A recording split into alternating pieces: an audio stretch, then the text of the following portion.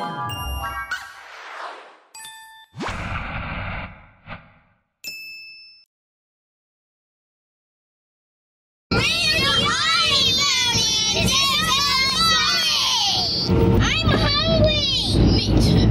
today's gospel readings, We hear the story of the loaves and fish, in which Jesus divides five loaves of bread and two fish to feed hundreds of thousands of people.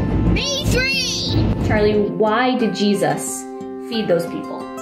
Because he loved them. Right, and when does Jesus feed us? Um, through the Holy Eucharist. Eat Through the Holy Eucharist, and we're able to receive the Holy Eucharist when?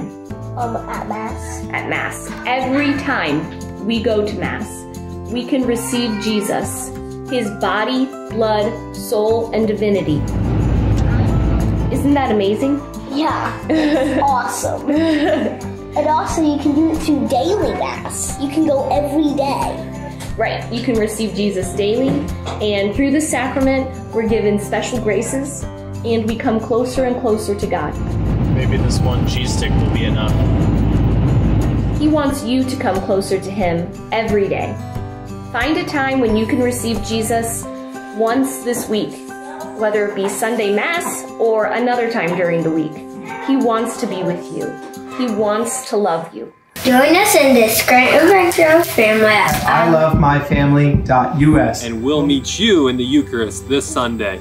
And remember how truly and deeply God loves you. Lord, please help us find more cheese.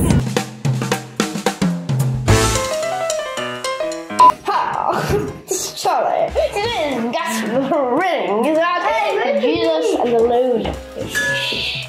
What do you have to say about that moment?